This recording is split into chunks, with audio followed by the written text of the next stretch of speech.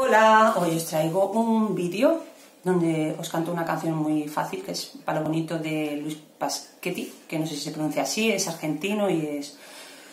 Eh, y os invito, si no lo conocéis, a conocerlo, es para animaciones o si trabajáis con niños o con adolescentes o hasta con adultos para eh, hacer eh, canciones.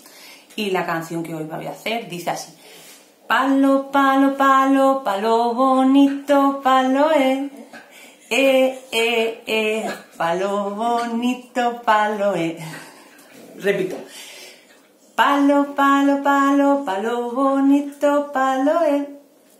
Eh, eh, eh, palo bonito, palo eh. No sé si lo he hecho muy bien. Eh, hay una versión que ayuda también a hacerlo mejor quizá, que dice así, que dice Palo, palo, palo, palo, palito, palo, eh. Eh, eh, eh, palo, palito, palo, eh. Palo, palo, palo, palo, palito, palo, eh. Eh, eh, eh, palo, palito, palo, eh. No sé si os ha gustado, ya veis que el palo, el palito, que en este caso puede ser el palito o, o el bonito, y el e. ¿Vale? Venga, a probarla a ver si os gusta. A mí me sale así, así, ¿eh? no soy muy habilidosa. Hasta luego, adiós.